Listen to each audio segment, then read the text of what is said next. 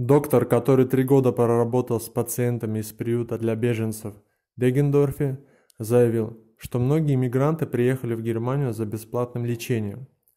Врач отмечает чрезмерную требовательность, невоспитанность, неуважение беженцев, которые довели его до увольнения. В интервью газете Die Zeit медик рассказал, что когда он только начал работать с мигрантами в 2015 году, многие из них имели серьезные травмы из-за военных действий на родине или опасных переездов. Врач с радостью помогал людям и вел насыщенную практику. По словам доктора, спасенные тогда им беженцы вели себя прилично и были очень благодарны за помощь. Сегодня же многие беженцы обращаются к врачам даже без каких-либо симптомов заболевания.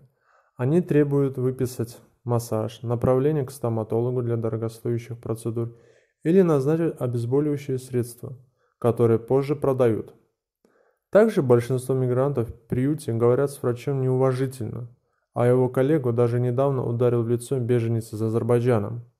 Как-то доктор ради интереса подсчитал, что из 41 пациента просто спасибо ему сказал лишь один человек. Больше всего